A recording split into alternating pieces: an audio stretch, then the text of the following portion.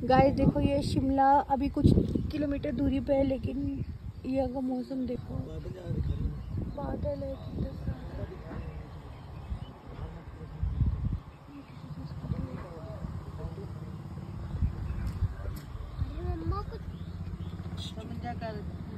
सुना उठा दो। इसको दिखाओ पक्का उठ गया।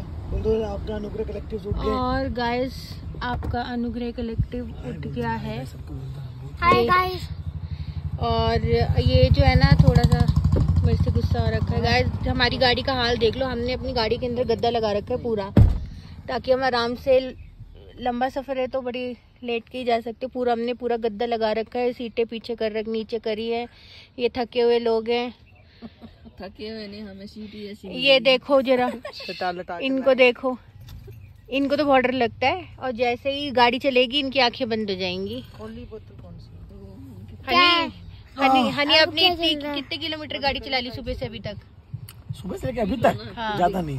कितने हो किलोमीटर? गई हो चौवन प्लस डेढ़ सौ एक सौ साठ के आसपास। कहाँ से निकले थे? सिक्सटीन हम निकले थे हिमाचल में अ, मनाली से पहले एक जगह मनाली थोड़ा सा अलग पड़ता है बरौट।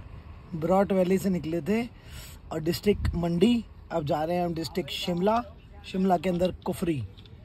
उम्मीद है बर्फ़ मिलेगी। Like subscribe like subscribe Bagga Bagga बोल दो लाइक एंड सब्सक्राइब बाबा इस वीडियो को लाइक मम्मा इस वीडियो को लाइक सब्सक्राइब करें तो इसका बाय बाय